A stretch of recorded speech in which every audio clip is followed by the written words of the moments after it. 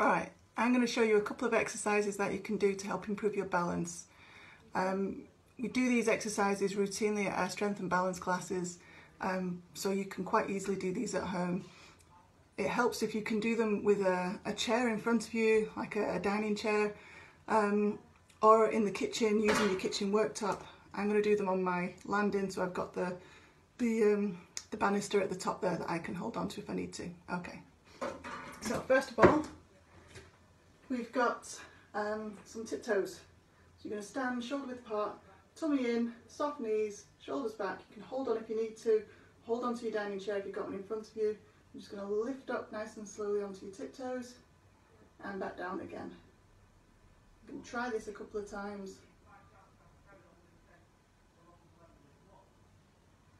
Okay. This time you're going to try and lift up and hold. Now again, if you were holding onto your chair, you try just to get away with as little grip as you possibly can. So hold, not holding on for white knuckle ride, but if you can just get away with one finger or one hand or none at all, that would be great.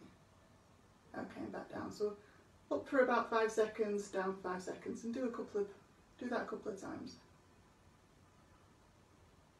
Up onto tiptoes, back down. Another exercise we're going to do is lifting the toes up, so we're standing on our heels. Now for this one, we need to make sure that our, our bottom is pushed forward, so we're not sticking our, our bottom out. So I'll show you, we're just going to lift our toes up, make sure you've got your balance, do it a few times before you hold it, toes up, back down. Okay, this time I'm going to try and lift up, hold it for a few seconds, and back down. And show you from the side. So to again hold your tummy in, lift the toes up. Try not to stick your bottom back. Just try and remain up, up nice and straight. Toes up and back down. I'm doing this bare feet because I'm in my house. We don't wear shoes in my house.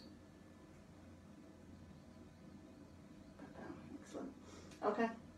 Next one we're going to do is a tandem leg stance.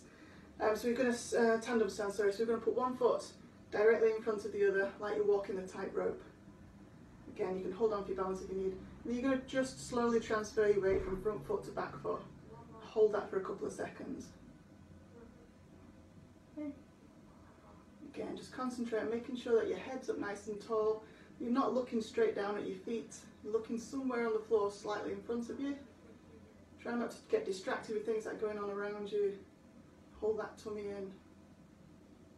Great, you do a few seconds on that foot and then try it with the other foot forwards.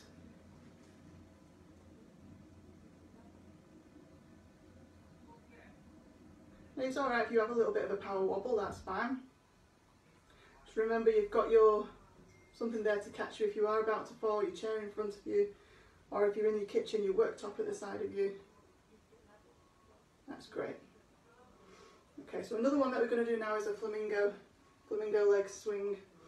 Um, so we're going to lift your foot up, you're going to stand on one foot, just describe the exercise first, you're going to just lift the leg up, swing it forwards, touch it on the floor on the way back, then extend back behind you. So forwards, touch on the floor, back behind. So this leg is doing all of the work really, so you might get a little bit sore around the hip on this leg. If you can do it without holding on, then great. And equally, if you can do it without touching your foot on the floor, great. So just concentrate again, holding your tummy in, your shoulders back, your back nice and straight, your chin in. Great. Okay, and try the other leg. So foot forwards, touch the floor, extend back behind you.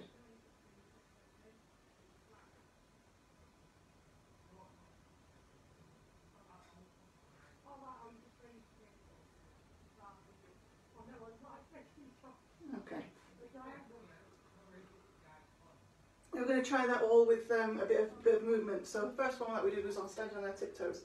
So we're going to go up onto our tiptoes and we'll walk a few steps. So it's up, walk a few steps, and then down. Turn round, we'll do the same again. I'm not going to turn around in this one, I'll just go back. So we do that a few times, depends how long your kitchen is or how long you, you've set your chairs up along the side. Another one we can do is side steps, so you're going to turn, face your kitchen worktop, have a couple of chairs lined up in front, or if you've got um, a long wall or a fence and a bit of patio, you can do that, so your hands on the wall. So up, uh, you're going to side step, side step, side step. So foot out, foot together. Same all the way back. Slide, together, slide, together.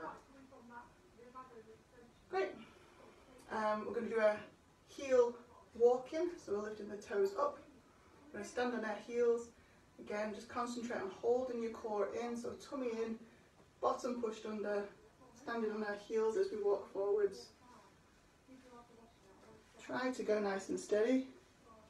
If you go slow, it sometimes is a little bit harder. I'm just going to walk back. Same again if you're going to do that a few times. And then the only other one we're going to do is a tandem leg. So one foot in front of the other, like we are literally walking the tightrope this time. If this is too much, if this is too challenging, I'm doing it with my, literally my heel right in front of my big toe, heel right in front of my big toe. If that's too much, you can leave a little bit of a gap or not go quite so overlapped. You can go out to the side slightly. But if you can